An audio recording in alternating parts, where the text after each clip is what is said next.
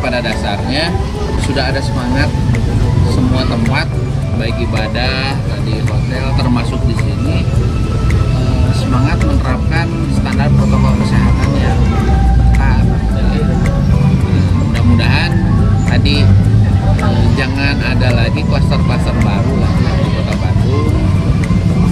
Sehingga harapannya tadi mudah-mudahan kalau kita bisa meningkat dari zona kuning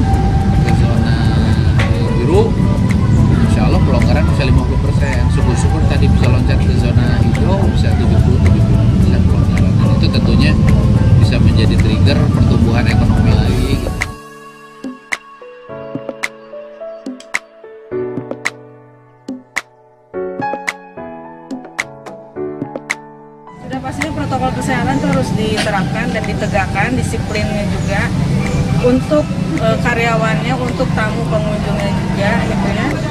Terus prinsip-prinsip mengenai kebersihan, kesehatan dan keamanan itu juga harus eh, dilakukan karena itu menjadi satu format baru ke depan untuk sektor pariwisata ini. Jadi cleanliness, healthy dan safety ini merupakan tiga faktor utama yang harus diperhatikan.